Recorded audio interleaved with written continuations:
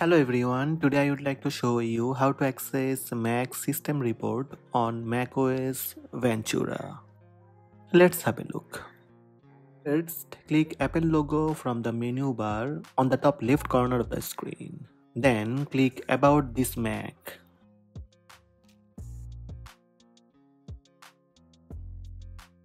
Click More Info.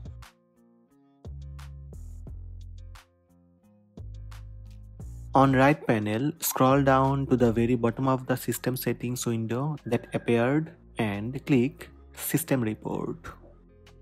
That's it. These are the steps to access Mac System Report in macOS Ventura.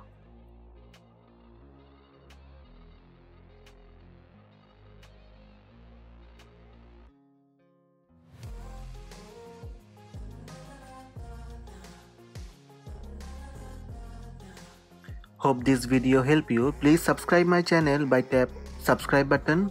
Also tap the bell icon to receive notifications about all new videos.